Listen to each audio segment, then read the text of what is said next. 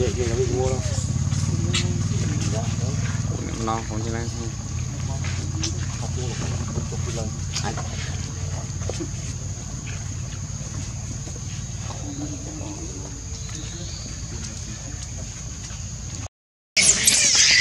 subscribe cho kênh Ghiền Mì Gõ Để